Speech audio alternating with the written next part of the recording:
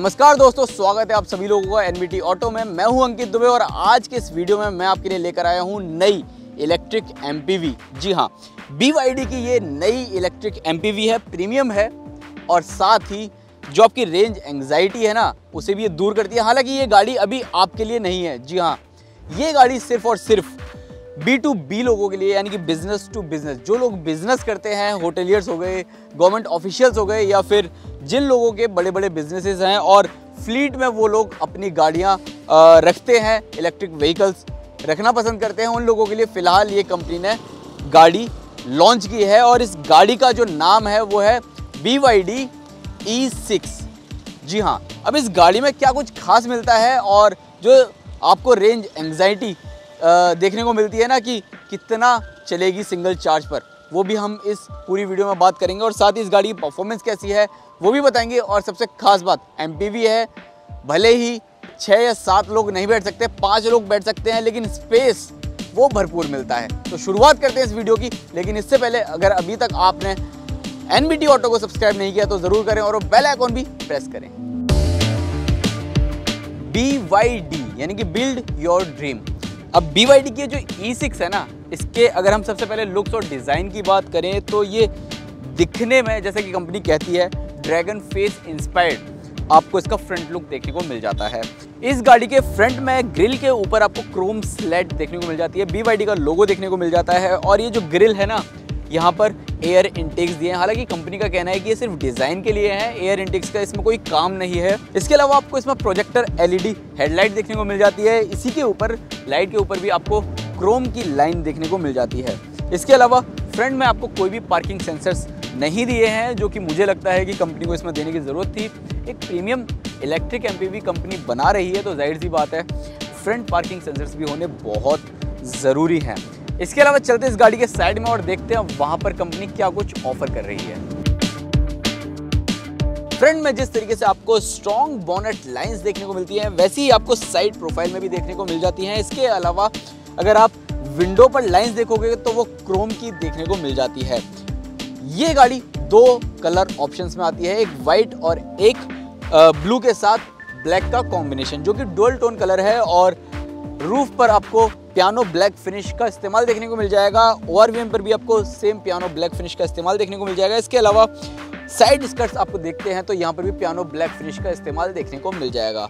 इसके अलावा कंपनी ने 17 इंच के व्हील्स दिए हैं और एलोए व्हील का डिज़ाइन काफ़ी सिंपल रखा है, जो कि ठीक ठाक नज़र आ रहा है और देखा जाए इस गाड़ी में अगर आप देखोगे तो क्वार्टर ग्लासेस का कई जगह इस्तेमाल हुआ है, जैसे कि आप यहाँ पर ये क्वार्टर ग्लास देख सकते हो और रेयर में भी आप क्वार्टर ग्लास देख सकते हो। रेयर प्रोफ़ाइल की बात करें तो यहाँ पर भी आपको सिंपल सा डिज़ाइन देखने को मिल जाता है एलईडी टेल लाइट्स देखने को मिल जाती है क्रोम लाइन आपको देखने को मिल जाती है जो कि एक लाइट से दूसरी लाइट तक जुड़ी हुई नज़र आती है। इसके अलावा शार्क फिन एंटीना आपको देखने को मिल जाता है ई e सिक्स लिखा हुआ आपको यहाँ देखने को मिल जाता है और रियर में चार पार्किंग सेंसर्स भी आपको यहाँ मिल जाते हैं और निचला वाला जो हिस्सा है, वहाँ कंपनी ने पियानो ब्लैक फिनिश के साथ मेट ब्लैक का भी इस्तेमाल किया है, जो कि आप इसके रेयर स्किड प्लेट पर देख सकते हैं।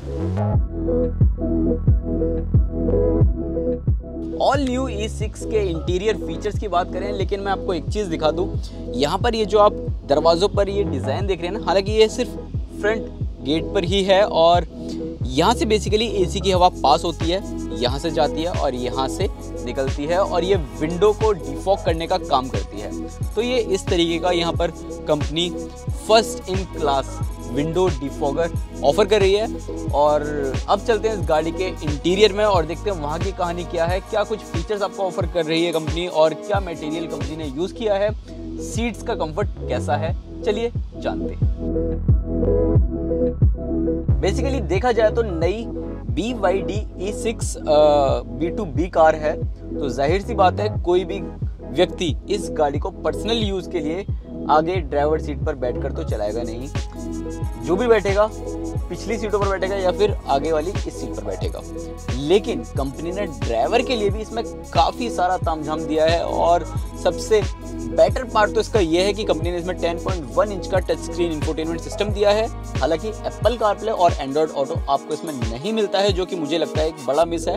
हालाँकि कंपनी इस इंफोटेनमेंट सिस्टम को एक एंड्रॉइड बेस्ड टैब के रूप में पेश कर रही है और इसमें आपको इनबिल्ड गूगल मैप मिल जाता है और इनबिल्ड प्ले स्टोर मिल जाता है, उसमें से आप अपने हिसाब से ऐप्स डाउनलोड कर सकते हो यूट्यूब डाउनलोड कर सकते हो वीडियोस देख सकते हो, और भी बहुत सारी जो ऐप्स हैं प्ले स्टोर में जो मिलती हैं, वो आप डाउनलोड कर सकते हो। एक बेस्ट पार्ट इसके साथ ये है कि जैसे ही आप इस गाड़ी में मैप यूज़ कर रहे हो तो आप इसे इस तरीके से रोटेट भी कर सकते हैं। हालाँकि ये 360 डिग्री रोटेट नहीं होता है, ये सिर्फ़ राइट साइड में रोटेट होता है, और यहीं से ही ये सीधा हो जाता है। इसके अलावा अगर हम डैशबोर्ड पर प्लास्टिक क्वालिटी की बात करें तो ये भी ठीक ठाक मिलती है। बहुत ज़्यादा अच्छी ग्रेड की ये नहीं लगती है और यहाँ पर ये जो फिनिश देख रहे हो, ये आपको प्रीमियम फिनिश देता हुआ नज़र आता है। ग्लव बॉक्स की बात करें तो ये काफ़ी अच्छे खासे स्पेस के साथ आ जाता है और इसकी क्वालिटी भी ठीक ठाक मिलती है। सीट्स की बात करें तो सीट्स काफ़ी कंफर्टेबल नज़र आती है और सच बताऊँ तो यहाँ पर बैठकर आपको काफ़ी कंफर्ट मिलता है। काफ़ी आराम से आप यहाँ रह सकते हो। सेंटर कंसोल की अगर हम बात करते हैं तो यहाँ पर नीचे की तरफ़ आपको एसी वेंट्स मिल जाते हैं और इसके नीचे आपको यहाँ पर एक ट्रे मिल जाती है छोटी सी फ़ोन रखने के लिए। हालाँकि यहाँ पर कंपनी कोई भी वायरलेस चार्जर ऑफ़र नहीं कर रही है, जो कि मुझे लगता है कि अगेन एक और मिस है। इसके अलावा यहाँ पर आप देख सकते हो तो यहाँ पर हाई, लोअर का मतलब ये जो गाड़ी का रीजनरेटिव ब्रेकिंग सिस्टम है, उसका बटन मिल जाता है। इको मोड कंपनी इसमें ऑफ़र करी है। हालाँकि जब गाड़ी ऑन करते हैं और चलाते हैं ना तो स्टैंडर्ड इको ही इसमें आपको मिलता है, लेकिन इको मोड किस लिए ऑफ़र कर रही है, जब मैं गाड़ी चलाऊँगा तब तो आपको बताऊँगा कि इसका क्या काम है काम है भी, नहीं भी है। और पार्किंग सेंसर्स का यहाँ पर बटन कंपनी ऑफ़र कर रही है, और इसके अलावा एसी कंट्रोल्स के आपको यहाँ पर बटन मिल जाते हैं। म्यूज़िक म्यूज़िक कंट्रोल के लिए आपको वॉल्यूम अप डाउन करने के लिए बटन मिल जाता है, और जो गियर नॉब है वो आपको यहाँ पर मिल जाता है। आर एन डी और पी यहाँ पर इसी में ही आपको मिल जाता है। इलेक्ट्रॉनिक पार्किंग ब्रेक आप यहाँ देख सकते हैं और साथ ही यहाँ पर आपको आर्मरेस्ट के नीचे अच्छा खासा स्पेस मिल जाता है और इसी में ही आपको दो यूएसबी पोर्ट भी मिल जाते हैं और साथ ही आपको 12 वोल्ट का एक सॉकेट भी मिल जाता है। इसके अलावा अगर हम स्टेयरिंग व्हील की बात करें तो ये काफ़ी सिंपल सा नज़र आता है और स्टेयरिंग माउंटेन कंट्रोल्स आपको सिर्फ़ और सिर्फ़ राइट साइड ही देखने को मिलते हैं। पाँच इंच की यहाँ पर आपको टीएफटी स्क्रीन मिल जाती है, जिसे आप ड्राइवर डिस्प्ले भी कहते हो, और इसमें तमाम जानकारी आप हासिल कर सकते हो इस गाड़ी की बैटरी रेंज को लेकर, और साथ ही इसकी जो बैटरी क्षमता है, वो कितनी बची है, कितनी परसेंटेज रहती है, वो सारी आप यहाँ पर जानकारी हासिल कर सकते हो। रेयर सीटों पर आते हैं तो कंपनी ने पैसेंजर्स के कंफर्ट का तो यहाँ पर पूरा ध्यान रखा है, लेकिन कन्वीनियंस के मामले में थोड़ी सी चूक गई है। जी हाँ पिछली सीटों पर आपको भरपूर आराम मिल जाता है। अंडरनीथ थाई सपोर्ट काफ़ी अच्छा खासा मिलता है। लेग रूम भी काफ़ी बढ़िया है और नी रूम तो आप देख ही रहे हैं। हेड रूम की बात करें तो ये भी काफ़ी बढ़िया मिल जाता है। लंबे व्यक्ति के लिए कोई दिक्कत नहीं होने वाली है। एडजस्टेबल हेडरेस्ट भी मिल जाता है और देखा जाए तो यहाँ पर तीन लोग आसानी से बैठ सकते हैं। अब कन्वीनियंस की बात करें तो यहाँ पर कंपनी एसी वेंट्स तो ऑफ़र कर रही है, लेकिन एसी कंट्रोलर्स आपको नहीं मिलते हैं। तो ज़ाहिर सी बात है एसी बढ़ाने के लिए आपको ड्राइवर को ही बोलना पड़ेगा। खुद से नहीं बढ़ा सकते हो। दो यूएसबी पोर्ट आपको यहाँ पर मिल जाते हैं, और साथ ही अगर देखा जाए तो यहाँ पर आपको कोई भी आर्मरेस्ट नहीं मिलता है। अगर पिछली सीट पर दो व्यक्ति बैठ के जा रहे हैं तो यहाँ पर आपको आर्मरेस्ट की ज़रूरत है तो वो नहीं मिलता है, जो कि मुझे लगता है बी टू बी सेगमेंट के लिए कंपनी को ये कुछ कुछ चीज़ें सोचने की ज़रूरत थी। इसके अलावा सेफ्टी के लिहाज से कंपनी ने बहुत बढ़िया काम किया है, जो कि आप पिछली सीटों पर सबसे पहले देख सकते हैं। कंपनी ने यहाँ पर थ्री पॉइंट सीट बेल्ट दी है और साथ ही देखा जाए तो सभी सीटों का रिमाइंडर भी इस गाड़ी में शामिल कर दिया है। तो अब चलते हैं स्पेस के मामले में, जैसे कि कंपनी ऑफ़र कर रही है, जैसे कि कंपनी कह रही है कि भरपूर स्पेस आपको इस गाड़ी में मिल जाता है।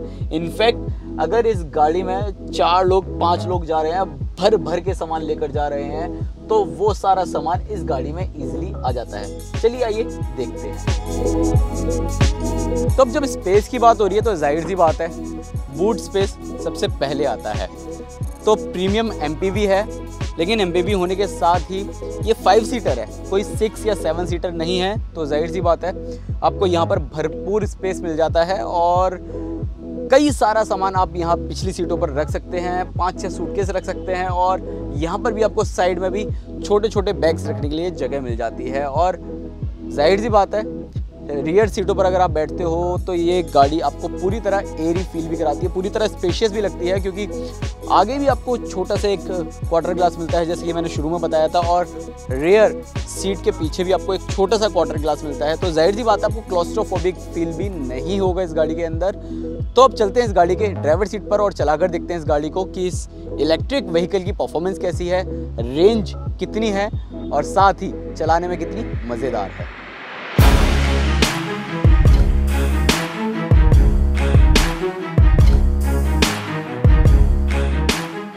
नई BYD E6 में कंपनी ऑफ़र कर रही है 71.7 किलोवाट आर की ब्लेड बैटरी। जी हाँ ये एक ऐसी ब्लेड बैटरी है जो कि काफ़ी ज़्यादा सुरक्षित है और जैसा कि कंपनी क्लेम कर रही है, उसने इस बैटरी के साथ कई सारे टेस्ट भी किए हैं और ये बैटरी आपको काफ़ी अच्छी खासी रेंज भी ऑफ़र कर देती है।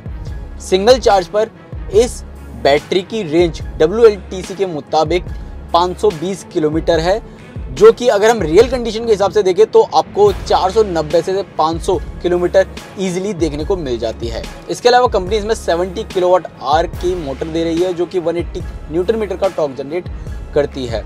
टॉक भले ही आपको थोड़ा सा कम देखने को मिले as compare to M G Z S या दूसरी इलेक्ट्रिक कार्स आपने इंडियन मार्केट में देखी होंगी या चलाई होंगी, लेकिन इस गाड़ी में आपको आराम भरपूर मिलता है राइड क्वालिटी काफ़ी बढ़िया मिलती है ड्राइविंग डायनेमिक्स भी काफ़ी ज़्यादा बढ़िया देखने को मिल रहे हैं। और बात की जाए कंफर्ट की तो ज़ाहिर सी बात है, हर बंदा तो ये गाड़ी ड्राइवर सीट पर आके बैठकर चलाएगा नहीं तो जो भी व्यक्ति इस गाड़ी के पीछे बैठेगा, उसे भी अच्छा खासा कंफर्ट मिल जाता है। सस्पेंशंस बहुत ज़्यादा स्टिफ नहीं है।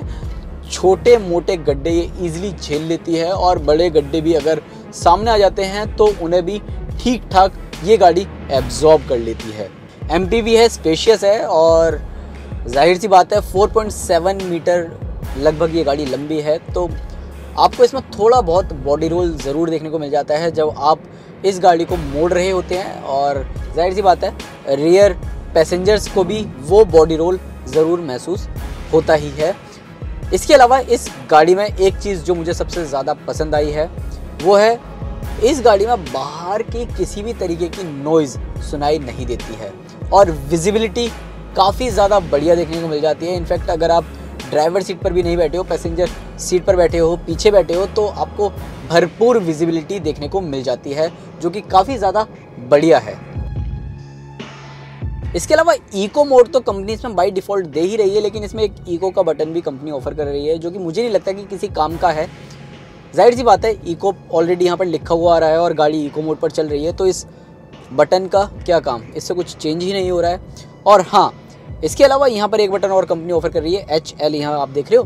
तो बेसिकली रीजनरेटिव ब्रेकिंग सिस्टम के लेवल्स का ये बटन है तो आपको इसमें दो लेवल्स में जाते हैं, एक स्टैंडर्ड और एक लार्जर लार्जर में रीजनरेटिव ब्रेकिंग सिस्टम का जो लेवल है वो हाई पर रहता है और स्टैंडर्ड में ये स्टैंडर्ड रहता है, यानी कि नॉर्मल रहता है तो उस हिसाब से ये गाड़ी चलती है। रीजनरेटिव ब्रेकिंग सिस्टम जो इसमें मिलता है, उसे अच्छे से इस्तेमाल करती हुई नज़र आती है। देखा जाए तो BYD की नई E six B to B platform के लिए उतारी गई है, जो कि बड़ी बड़ी कंपनियाँ चलाते हैं और साथ ही अपने फ्लीट में एक ऐसा व्हीकल रखना चाहते हैं जिसकी रेंज ज़बरदस्त हो इलेक्ट्रिक कार हो, दमदार हो और साथ ही आरामदायक भी हो। तो उन्हीं कंपनियों के लिए BYD ने भी एक बेहतर वारंटी स्कीम पेश की है। जी हाँ बैटरी सेल्स की बात करें तो अब तक की सबसे ज़्यादा वारंटी कंपनी ऑफ़र कर रही है। आठ साल, पाँच लाख किलोमीटर की वारंटी पूरे व्हीकल पर अगर हम वारंटी देखें तो तीन साल, सवा लाख किलोमीटर की वारंटी आपको मिल जाती है और साथ ही अगर हम ट्रैक्शन मोटर की बात करें तो उस पर आठ साल और डेढ़ लाख किलोमीटर की वारंटी मिल जाती है। देखा जाए तो भारतीय बाज़ार में B Y D E six की कीमत बी टू बी सेगमेंट में उनतीस लाख साठ हज़ार रुपए एक शोरूम है और अगर कोई कंपनी इस गाड़ी के साथ सेवन किलोवाट का चार्जर नहीं लेती है तो उन्हें ये गाड़ी उनतीस लाख पंद्रह हज़ार रुपए एक शोरूम कीमत में पड़ जाएगी। और देखा जाए, ये गाड़ी उन कंपनीज़ के लिए ज़्यादा फ़ायदे का सौदा साबित हो सकती है, जिनके मन में रेंज एंग्जाइटी रहती है और साथ ही एक सोच रहती है कि उनके एम्प्लॉयज़ को कितना आराम किस गाड़ी में मिलता है।